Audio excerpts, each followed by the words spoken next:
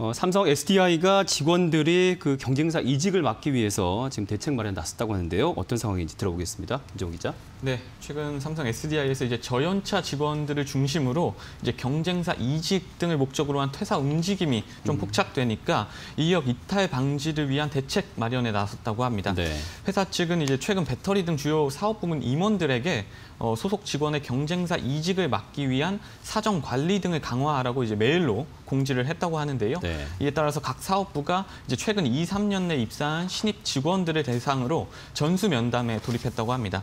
이 면담을 통해서 저연차 직원의 업무 만족도부터 이제 이직 가능성 등을 좀 파악해서 관리를 하고 또 이들의 이야기를 좀 들어서 이제 중장기적인 이탈 방지를 위한 뭐 대책을 마련하겠다 뭐 이런 계획을 세운 건데요. 이처럼 좀 SDI가 직원 관리를 강화 하는 것은 최근 신입 사원을 중심으로 경쟁사 이직을 목적으로 한 퇴사 사례가 많이 나오고 있다고 해요. 또 추가적인 이탈 움직임도 이제 어, 분위기가 포착이 되니까 어, 뭐 좀 직원들 단속에 나서겠다 뭐 이런 네. 것으로 보이는데요. 특히 최근 전기차 확산 등에 따라서 시장이 급성장 중인 배터리 사업부 소속 직원들이 이제 경쟁사인 LG화학과 LG에너지솔루션, SK이노베이션 등으로 꾸준히 이직하고 있는 것으로 알려졌습니다. 때문에 좀 위기 의식을 느낀 SDI 경영진 차- 쪽에서 직원 관리를 강화하라고 좀 이렇게 지시를 내린 것으로 보입니다. 네. 뭐 이렇게 움직인다는 건 처우나 연봉에 좀 불만이 있지 않을까 이런 짐작을 하게 되는데 최근에 또 이제 성과급 관련해서 논란도 있었습니다. 직원 이직에 이런 것들이 좀 영향을 줬다고 볼 수 있을까요? 네, 업계에서는 이제 앞서 불거졌던 말씀하셨지만 성과금 논란에 이제 직원들이 좀 동요한 것으로 보고 있습니다. 네. 또 그게 이번 이직 분위기 뭐 그런 음. 거에도 영향을 직간접적으로 좀 준 것으로 이해를 하고 있는데요. 네. 우선 SDI는 지난해 이제 연간 기준으로 역대 최고 실적을 올렸습니다. 코로나 상황 속에서도 기분 좋은 이제 음. 신바람을 낸 건데요.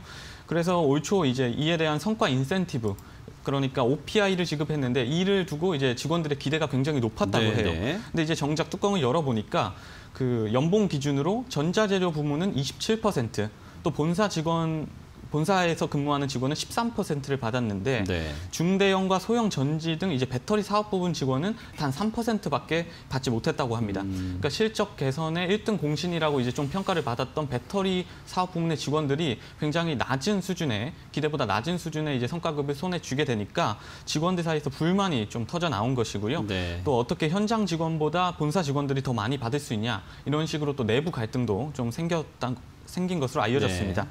그러자 이제 SDI가 저연차 직원 관리에 좀 들어간 것인데 왜 저연차를 좀 관리하냐 또 이런 궁금증이 있으실 것 같아요. 네, 네. 아무래도 좀 저연차 직원들 경우에는 이제 고연차보다 몸집이 가벼우니까 음. 언제 어디든 좀 이- 이직할 수 있다. 뭐 이런 심리가 좀 있는 것 같고요. 네. 또 최근 배터리가 좀 뜬다고 해서 어, 회사에 입사를 했는데 정작 와 보니까 처우가 업계 뭐 어, 업계에서 이렇게 자랑할 만한 수준은 음, 아니다. 음. 뭐 이렇게 판단을 했기 때문에 경력 이직뿐만 아니라 중고 신인 그러니까 이제 경쟁사의 신입 사원으로 입사하는 네. 경우도 또 많아졌다고 하, 더라고요 음. 말씀드린 대로 최근 배터리의 전망이 워낙 좋다 보니까 국내 경쟁사부터 해외는 물론 또 자동차 업계로도 이제 이직하는 사례가 계속 나오고 있다고 합니다. 업계 내 인재 확보전이 한층 치열해진 것인데 인재 확보는 사실 뭐 영입하는 것도 인재 확보가 되겠지만 네. 기존 인력을 지키는 것도 그렇죠. 또 중요한 어, 한 부분이거든요. 네. 때문에 SDI가 추가적인 좀 인력 유출을 방지하기 위해서 팔을 걷고 나섰다 이렇게 보시면 될 것 같습니다. 네.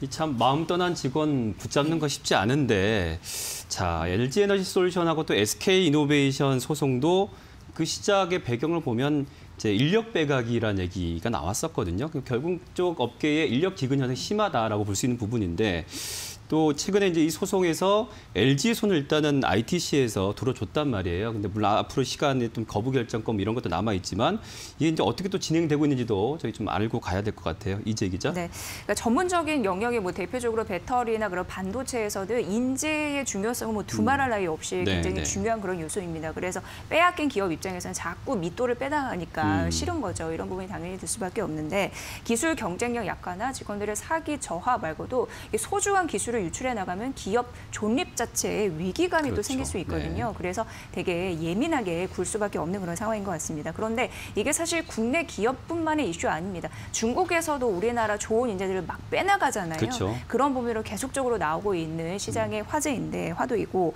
이게 이제 인력 유출을 어떻게 방지하고 또 무엇보다도 인재 유치를 어떻게 할 것인지 이게 장기적으로 좀 정부에서도 대책이 나와야 된다 이런 음. 목소리도 현재 나오고 있는 시점입니다. 네. 그리고 이제 LG 에너지 솔루션, SK 이노베이션도 이제 유출 때문에 이런 사건이 나타났으니까. 네. 예, 또 오늘 또 중요한 소식이 있어서 말씀드리면 일단 네. 뭐 LG 에너지 솔루션은 이제 과거 얘기인데 LG 에너지 솔루션 승리로 최종 판결이 났잖아요. 네. 그러니까 ITC 결정에 따라서 이제 SK 이노베이션 같은 경우에는 관련 사업을 미국 내에서 10년 동안 할 수 없습니다. 그래서 LG 에너지 솔루션과 어떻게든지 손을 좀 잡고 합의를 해야 된다라는 상황이 지금 이제 연출이 되고 있는 상황인데, 근데 문제는 하고 싶어도 합의금 규모가 굉장히 크니까 이제 엄두가 안 나는 그런 상황이거든요.